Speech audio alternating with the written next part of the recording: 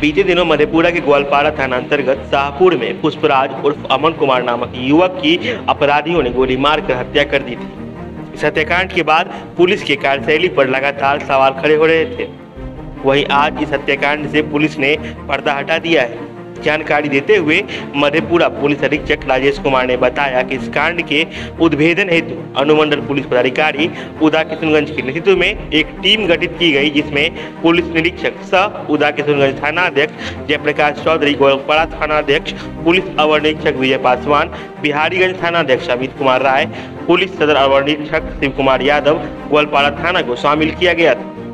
इस टीम ने तकनीकी अनुसंधान एवं मानवीय आसूचना के आधार पर घटना में संलिप्त अपराध कर्मियों को चिन्हित किया और इसी बीच गठित टीम द्वारा छापेमारी करते हुए समस्तीपुर के रंजीत मुखिया, गोलपाड़ा के निरंजन कुमार, उर्फ़ नीरज बम बम कुमार को गोलपाड़ा से गिरफ़्तार किया गया एवं अन्य तीन अपराधी भागने में सफल हो गए।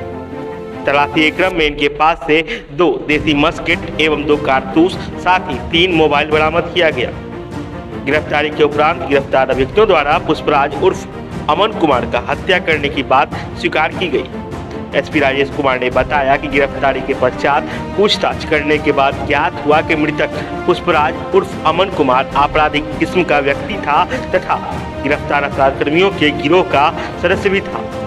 मृतक पुष्पराज उर्फ़ अमन कुमार पूर्व में हत्या जैसे जघन्य कांड में जेल भी जा चुका है। मृतक पुष्पराज उर्फ़ अमन कुमार इन अभियुक्तों के साथ। कहीं चोरी किया था, चोरी के बाद सारा माल पुष्पराज उर्फ़ अमन कुमार द्वारा रख लिया गया था, जो आपस में बंटवारा करने के लिए तैयार नहीं था। इसी कारण पकड़ाए अभियुक्तों एवं अन्य अभियुक्तों द्वारा पुष्पराज उर्फ़ अमन कुमार फ़ोन पर बुलाकर मारपीट करने के बाद गोली मारकर हत्या कर दी गई।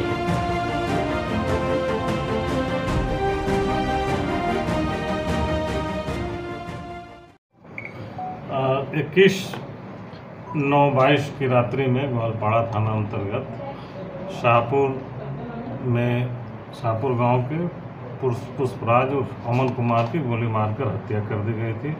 किसी ने उसे फ़ोन करके पहले बुलाया और बाद में उसके संबंध में कोई जानकारी घर वालों को नहीं मिली। तो सुबह में वो लोग निकले तो पता चला उसकी हत्या हो गई है। इस संबंध में ग्वालपाड़ा थाना में कांड दर्ज कराया गया।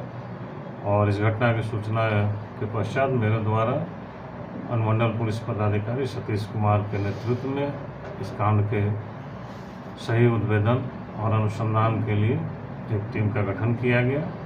इस टीम में ग्वालपाड़ा थाना अध्यक्ष के अलावे उदा किशनगंज थाना अध्यक्ष राहत थाना अध्यक्ष और कुछ हमारे तकनीकी सहयोगी के रूप में जो काम करते हैं, उन लोगों को संलिप्त किया गया। इन लोगों ने इस कांड का बड़ा ही सफल अनुसंधान किया और अनुसंधान के क्रम में इन्हें जानकारी मिल गई कि किन लोगों ने इसकी हत्या की है। इस सूचना के आधार पर इन्होंने छापामारी का आयोजन किया और 26 तारीख को उसी गाँव में सचिन ऋषिदेव के घर के पास कुछ अपराध कर्मियों के होने की सूचना पर इन लोग गए वहाँ पे और उनकी घेराबंदी करके गिरफ्त, तीन लोगों को गिरफ़्तार किए। इन लोगों के पास से दो बड़े बड़े देसी मास्केट की बरामदगी हुई है। इसी मास्केट का प्रयोग इन लोगों ने उस हत्या में किया था। यह पुलिस की अच्छी सफलता है। पूरी घटना के जब जानकारी प्राप्त की गई इन लोगों के द्वारा तो यह बात प्रकाश में आया कि मृतक अमन कुमार भी आपराधिक छवि का ही व्यक्ति था। वह एक पहले हत्या जैसे जघन्य कांड में जेल भी जा चुका था।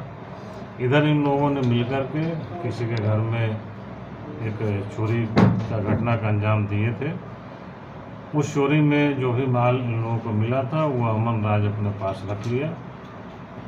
इन लोगों ने उन्हें उसको शेयर करने के लिए, बंटवारा करने के लिए बोलते रहे परंतु वह इसके लिए तैयार नहीं हुआ इसी गुस्सा में इन लोगों ने उनको फ़ोन करके बुलाया और बुला करके गुस्से में उसकी हत्या दी।